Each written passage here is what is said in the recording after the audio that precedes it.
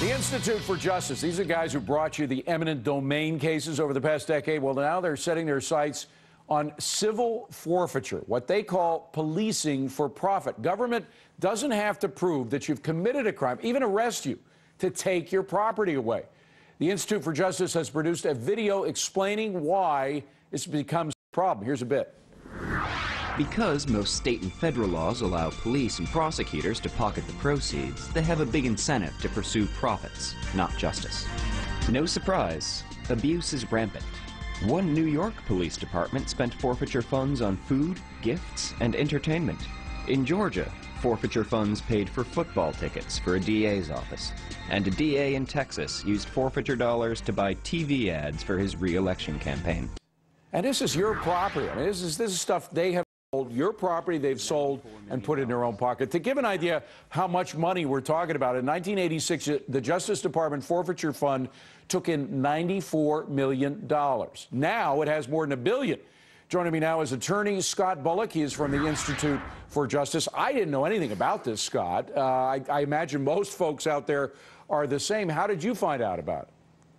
Well, you're absolutely right. A lot of Americans aren't aware of this, uh, but when they find out about it, and people were contacting us who had lost their property, were outraged about it, and that's how we got involved. It. But when people learn about this, that the government can take your property regardless of whether or not you've been convicted of a crime or even arrested for a crime, people are outraged about it. And civil forfeiture is really one of the most serious assaults on private property rights in the nation today. Isn't, isn't there something unconstitutional? I mean, we have property rights guaranteed by in the Constitution. It's almost an extension of our persons. And to, to take that away before you've established whether it was, it was used in, in the committing of a crime seems to be, to, uh, you know, you're guilty until proven innocent.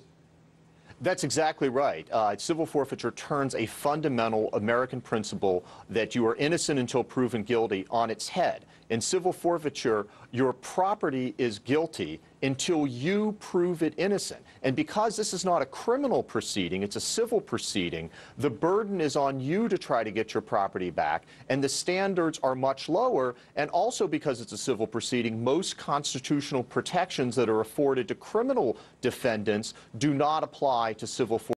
So it is really an abused system. It's, and it is similar to eminent domain, isn't it? It's, it's the same kind of thing where the state has the authority to come in, grab what it wants uh, without having to prove its case. Absolutely. I mean, it, it's, it's part and parcel of this attitude that property rights are somehow second-class relations in, yeah. in relationship to other constitutional uh, rights, and it's one of the reasons why police and prosecutors are able to abuse this power. It has to stop. We are starting a campaign to raise public awareness of this, file cases to try to challenge uh, these unconstitutional seizures of property. By the way, just one case in particular, there's this guy named El Ali who uh, I guess he's uh, where in Detroit or someplace. He he buys old properties, fixes them up, whether whether it's houses or cars. And a couple of his cars, or at least one of them, was confiscated this way, right? So it could drive him out of business. That's exactly right. He's in Houston, Texas. Uh, Houston. Uh, he's our client. Uh, yeah, and, and he is immigrant success story. He came to this country from his native Jordan, worked his way up and he sold a car to somebody. The person was paying him on credit. Uh, the person hadn't paid off the property yet. Uh, he gets a DUI. The state of Texas seizes the car for forfeiture, and now Mr. Ali has to try to get his property back. He obviously mm. didn't do anything wrong. It's still his car. And to show you the absurdity of these laws, the name of the case in Texas is State of Texas versus 1 2004 Chevrolet Silverado.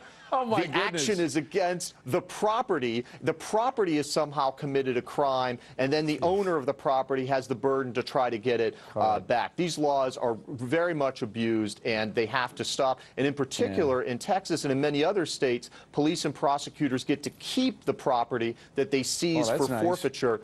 Uh, yeah, which puts it in a direct, uh, gives them a direct conflict of interest and allows them to uh, pursue uh, property and profit justice. Boy, oh boy. You add that to their pension funds, and it might not be a bad job to get. Scott Bullock, good to see you, Scott. Thank you very much for coming Thank in and you. sharing this with us.